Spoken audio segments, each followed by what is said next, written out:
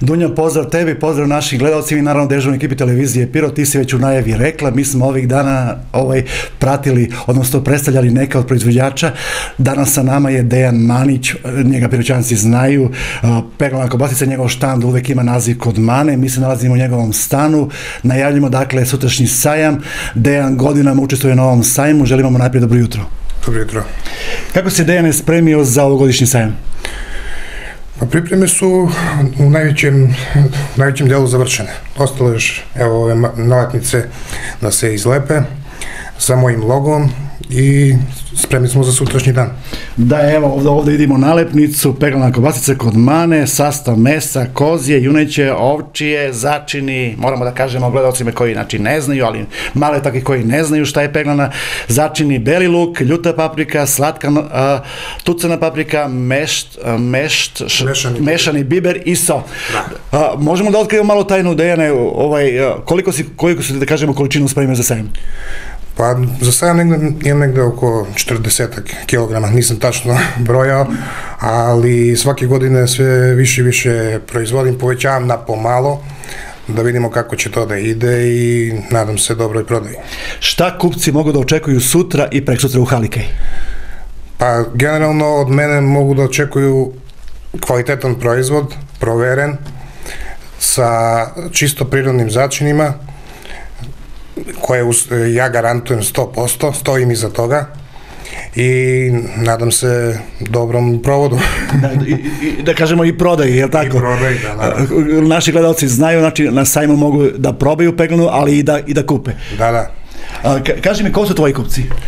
Pa moji kupci ima sa svih strana, iz cele Srbije, čak i iz, iz inostranstva, iz Austrije, iz Nemačke, iz Italije.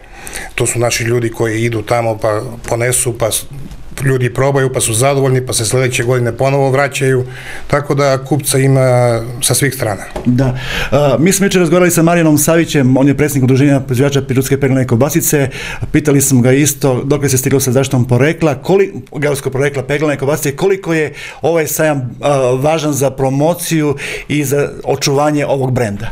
U svakom slučaju, ovaj sajam je nešto dobro, nešto što ovom gradu i treba, i da očuvamo tu našu pirotsku peglanu kobasicu.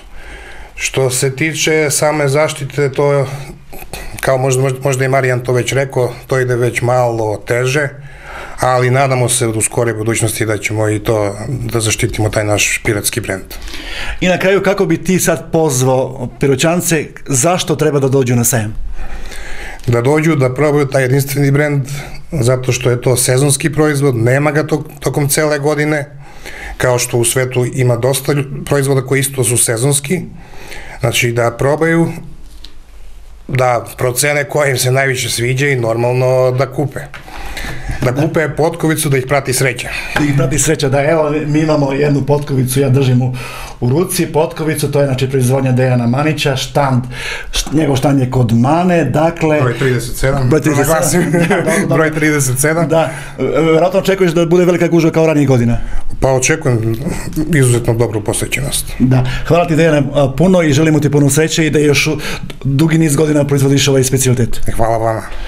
Eto, Dunja, čuli smo znači, jednog od proizvođača, čime završavamo našu današnju našu seriju predstavljanja proizvođača pirotske peglane kobasice, da dakle podsjetimo sutra i preksutra je pirot u znaku pirotske peglane kobasice, a, kao što smo rekli u našim vestima ovih dana i danas smo izveštavali to njem programu, sajam sutra u 12 sati, svečano otvara gradonačelnik pirota Vladan Vasić i promoteri Slobodan Bodan Ninković i Marko Gvero glumci koje piroćanci takođe znaju iz brojnih televizijskih serija.